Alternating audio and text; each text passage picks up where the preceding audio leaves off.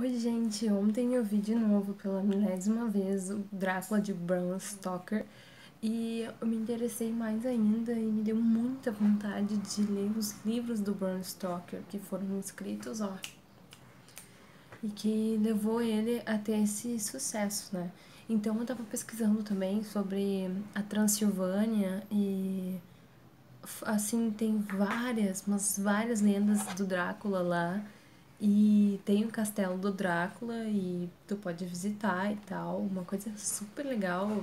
E para chegar até a Romênia e a Transilvânia, esses lugares lá é bem difícil. Tava olhando que não tem uh, um aeroporto que te deixa lá. Pá. Tem que pegar várias coisas antes. Enfim, eu tava vendo o filme e é demais, assim, é demais pensar 1992 uh, fazer um filme assim e botar o Gary Oldman como o Drácula, que ele é demais, porque ele também interpretou, não sei se vocês já viram, até gostaria de fazer um vídeo sobre isso, que é Minha Amada Imortal, que ele faz eh, o Beethoven e tem um jeito todo excêntrico, assim, de fazer, assim, fica fantástico. Fantástico. E ele tem um quesinho do Drácula também, o Beethoven, nesse filme. Enfim, Uh, eu achei demais, assim, a produção da época do Drácula, perfeita, perfeita, perfeita. A cena bizarra, bizarra, bizarra do lobo, que teoricamente é ele, com a amiga. Nossa, aquilo foi, a Lucy, foi demais, porque é uma coisa, assim, bizarra deles botarem um filme nos anos de 1992 e ainda passar, assim, né, na TV, muito bizarro.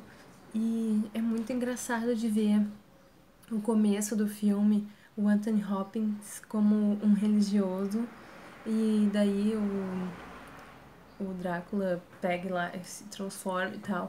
E na outra vida, o Anthony Hopkins vem como um Van Helsing. Isso é demais, demais, assim. Ver, assim, do passado no presente. E o Drácula sempre o mesmo, né? Então, ele perdeu a amada dele porque mentiram que ele tinha morri morrido na guerra e ela resolveu se suicidar. E então ele fica, ele resolve fazer esse pacto para esperar ela e tal, até que ele acha ela e a reencarnação dela.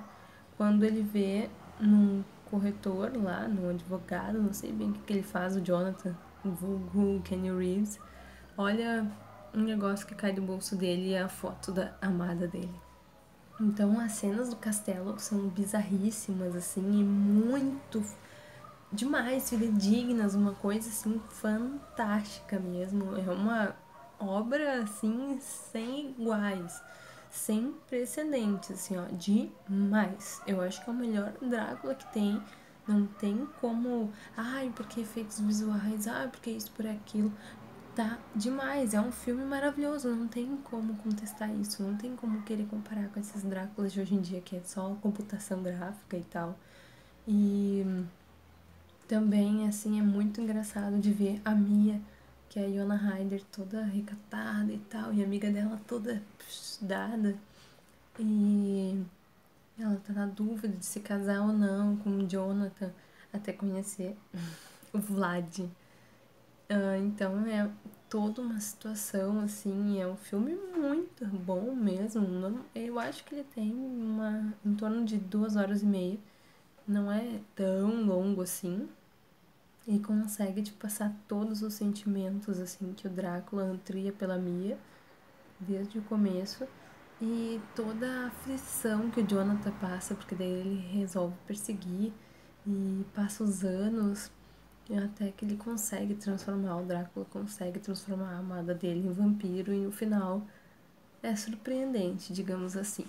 Então, mas assim, o que me impactou mais foi as cenas do castelo, quando o Jonathan tá chegando lá e daí começa um monte de lobo a uivar e ele tá esperando sozinho a carruagem do Drácula, assim, nossa, ele deve ter pensado, né, que eu me meti.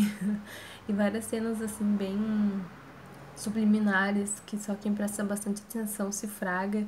Ele fazendo a barba assim no espelho, daí daqui a pouco o Drácula chega e bota a mão e no espelho não aparece, né? Reflexo de vampiro, então Ele pensou, ué. Ele ainda disse, ah, não vi você chegando e tal. Então, várias cenas que te deixam naquela aflição. Será que ele vai matar ele? Será que não? Será que ele vai morder ele? Será que não? E essas cenas de lobo, assim, eu achei fantásticas, porque normalmente é um avesso, né? Do vampiro, os lobos. Então, demais, assim, olha. Parabéns, uma super produção. Claro, eu tô falando como se fosse um filme novo, mas realmente, assim, demais.